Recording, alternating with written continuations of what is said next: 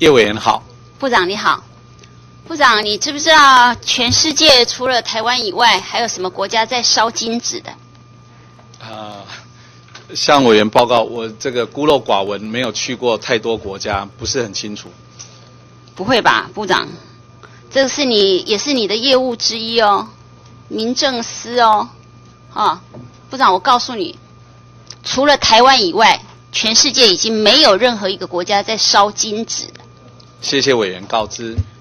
而台湾在烧的金纸呢，几乎全部都是中国进口的，几乎。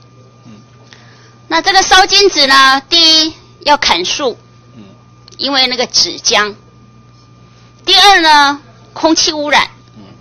这个空气污染不是只有烟，金纸最毒的是中间那一块，那块金箔或者是银箔，那个都是重金属。嗯非常不好的嗯一个成分啊、可是呢，台湾继续烧，嗯我从来也没有觉得我们的行政部门有想要改善。我希望部长不要很本位主义的觉得说这个是环保署的工作。嗯我要再一次的声明，我是百分之百的尊重宗教自由，嗯也非常尊重信仰。嗯但是呢，信仰的方式，我认为还是有必要考虑到整个大环境。所以，部长，我们至少最起码应该结合环保署嗯来努力，把这个金子啊做的环保一点，嗯哼或者少一点污染，嗯或者最最起码要要求它没有毒吧。但是事实上，啊、就我的了解呢，大部分的金子都是非常的毒。嗯我刚才已经说了，大部分的金子都是中国来的。嗯那最毒的就是那一块金箔或者银箔。请问部长，你有想要企图去改善这个部分吗？向委员报告，嗯，烧金子确实是我们社会的一个非常非常普遍而且悠久的一种传统。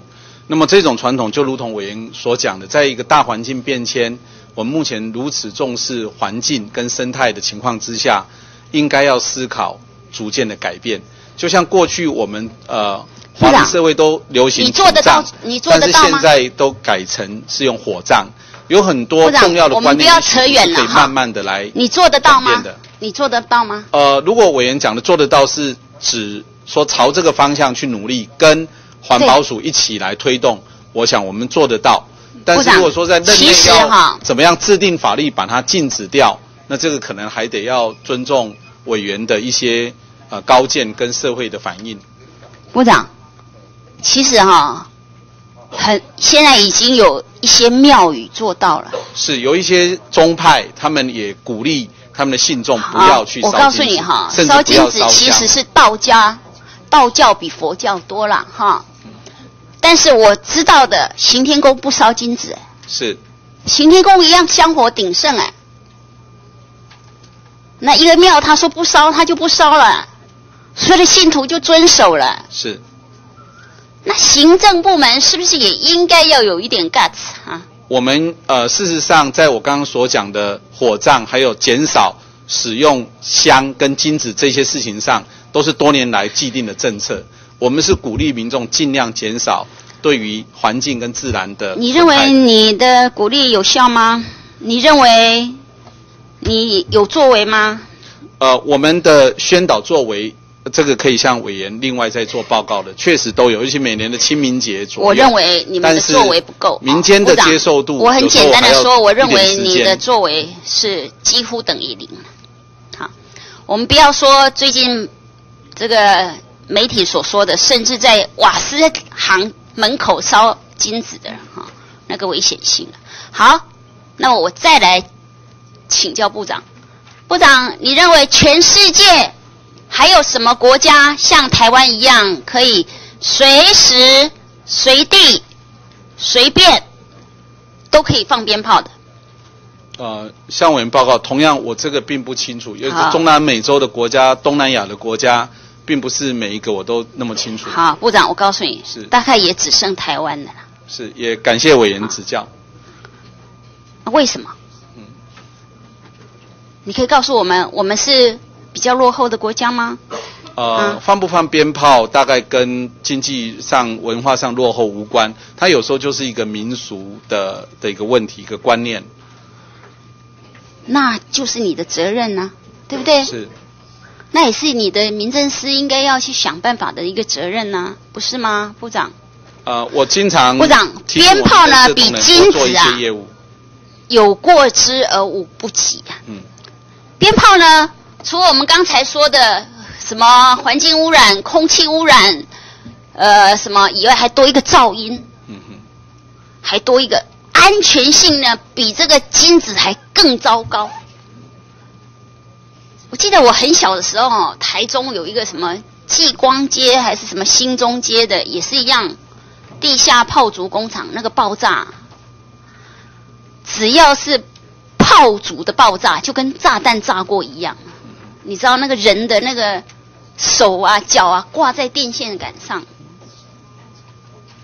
炸的这样血血肉模糊。这么危险的，但是我们就这么久了，还是没有看到有任何的作为。行政部门向委员报告，行政部门非常愿意朝一个比较进步的发展方向去做。那但是民间哦的既有的习俗，有时候不是一个法规可以一日之间就加以改变。所以像平息的天灯、对我我非我，我非常同意。是说我们我非常同意，这不是一朝一夕可以改的，但是至少。至少我们看到有很多改革呢，其实是定一个行行程，行政部门定一个行程出来，然后慢慢慢慢来导正，或者是呢，呃，由于一次的事故，然后名气可用，大家来改进。你刚刚说的很好，嗯，比如说民俗活动，我们也也觉得这种传统也非常好。那你讲到这个是我的选区啦，哈，盐水风炮。OK，可以保留，因为这也保留了这么几十年。我们是不是我说不要随时随地的随便放，只是这样啊？那你比如说好，现在有很多代表性的，像盐水风炮，那我们有没有有没有办法鼓励说，来就是盐水风炮这一天，我们所有的相关的这个这个庙宇或者神明或者怎么，大家共襄盛举，就在那个时候，我们。盛大的来举行，那那个时候大家特别特别来注意安全，但是至少不要除了那个时候以外，大家好像不定时的四四周围都有可能有不定时炸弹在那里，甚至不知道在哪里。我路过而已被炸死，我路过而已被炸伤，至少不要到这个地步嘛。是不是？我如果要去盐水风炮，我会知道那个危险性啊，对不对？我如果要去盐水风炮，我就知道我要装备好，要怎么样怎么样哈？那我我可以准备啊，哈。那但是现在不是，现在是随时随地随便，那我根本没有办法准备啊。你总不能叫所有的人每天都穿雨衣、戴钢盔、开车走路吧？是不是，部长？你有没有准备要有什么作为？呃，向委员报告，刚委员所讲的，除了重大民俗节日之外的一般民间释放这个爆竹烟火，我们事实上也是采取同样的立场。那么我们的作为就是要由中央跟地方政府共同加强这样的宣导。那如果是取缔该取缔的部分，也要去做。部长，我觉得你的回答哈是是空的。因为跟没有一样，有没有什么更更积极一点或者有效一点的作为啊？我举个例子，在不久前的这个旧历年，我们有新颁了一个规定，那就是十二岁以下的小孩如果要释放像冲天炮或者是水鸳鸯，必须要有大人在场。这个在过去是没有的作为，我们从今年开始规定。那类似这样的，就是在一个社会可能。可以接受的范围里面，我们逐步渐进。那如果说是其他更强制性的作为，因为刚刚我也提到，像盐水风炮的情况，恐怕很难下令禁止。那委员这一点也同意，所以中间如果还有什么其他的模糊灰色地带，有我们可以着力的地方，我们随时欢迎社会各界，包括委员对我们来提出指教。部长，我还是希望你可以积极一点。是，坦白说啦，哈，我如果是你了，我的作为就绝对不止如此。是啊，愿聆听委员高见。不要每次都听我的了，哈。如果真的这样，我觉得部长应该我来当。不是，委员已经都几乎呼之欲出，要把您的想法讲出来。不是，我都不，我不相信说我可以想得到的，你想不到，哎。好。我真的不相信哎。委员似乎是有很好的一个积极作为的想法，不妨让大家。比如说，我们可以这样子啊，我们可以说来，可以跟地方县市合作，我们可以地方有特别的民俗活动。我们把这，比如说，至少更进一步了。假设我们盐水的风炮这一天，我们就说所有的武庙，嗯，大家集中在这里，嗯，那其他地方就不准放了。哦，就除了盐水之外，其他地方不准放风炮。这个庙对。不是这个县市这个庙在这里做这个活动的时候扩大举行，大家都来共襄盛举。是。那其他就减少，或者是我们每次有什么节庆的时候，把这个地方整合起来。是。那大家有准备在那里。是。那是比较安全的，不要到处都是。是。或者再进一步的，你用时间来控制也可以呀。你找，你可以找各做。各大宗教团体来沟通啊，这也是你们管的啊。那找各大公宗教团体来沟通，说我们是不是每一个宗教团体，你有什么正式的活动？比如说道教哪一天要特别怎么样庆祝，做怎么样的庆典？那天要要烧多少金纸，要放多少鞭炮？我们一起来进行。但是其他的，我们是不是互相约束一下？